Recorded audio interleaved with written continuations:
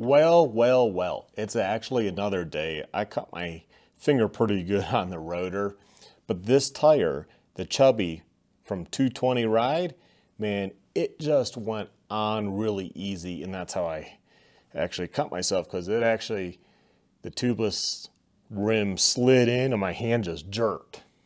One of those freak things, you know, I don't need stitches, but it, it was bleeding pretty good. It was a gusher.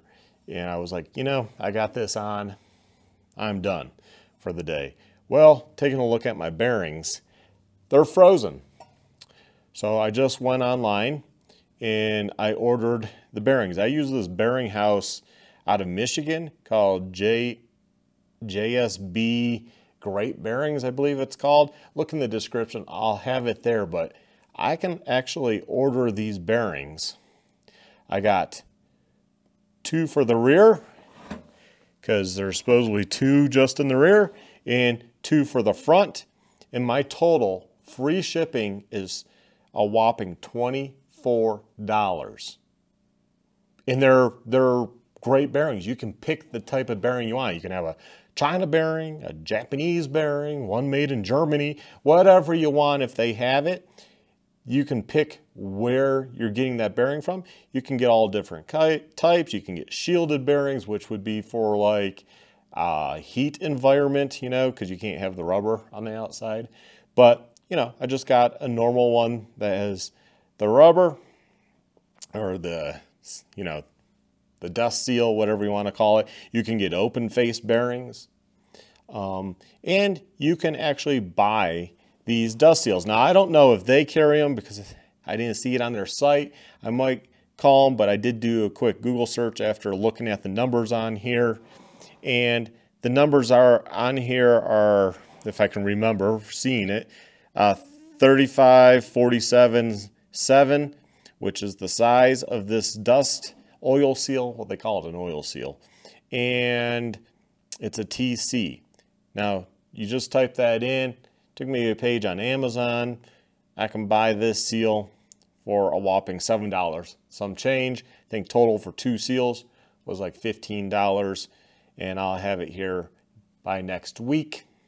I'm actually going to see if I can source these because honestly, you should be replacing the dust seal here, the oil seal, all the time. Really, you probably should every tire change or every couple tire changes, replacing that because your spacer sits into there and it, you know, supposed to stop dirt from going in. That's a snug fit. I have a little wear on here because of stuff, but luckily I over grease things and it's not like completely worn. So it's probably good that I went ahead and put a new tire on, even though I could have ran that other tire for quite a while. So I'm just going to slap this back together.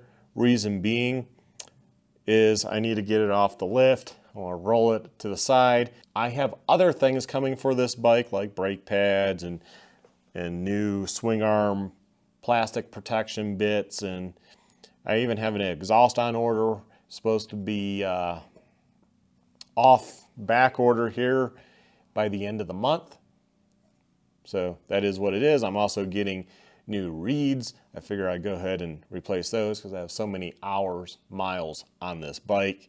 Just simple, easy stuff to do. I probably by the end of this summer will do, you know, the top end, do a piston, check that all out. But for now, new sprockets, chain. Uh, I want to do the rear bearings and I'm just going to go ahead and do the front bearings. Anyways, that's why I ordered them. I didn't get the dust seals for this the size. So, you know, I'll, I'll, I'll not worry about that right now. Like I said, I'm going to try to source um, dust seals, oil seals, and just good quality, like Japanese made bearings. I might put packs together and sell them and sell them for less than other brands because you can pay quite a bit for all balls, Pivot Works, SKF. Uh, SKF was pretty cool because actually their kit comes with like this, you know, the wheel spacer, the, du- the dust slash oil seal, and then the bearings. So it was a complete kit, so really not that badly priced if you need all the, all these parts. And I'm gonna lube that up a little just to slide it in there because it's a little rough in there. It's a little rusty because well things weren't oh barely moving. I guess I guess it was at least barely moving. So that's good.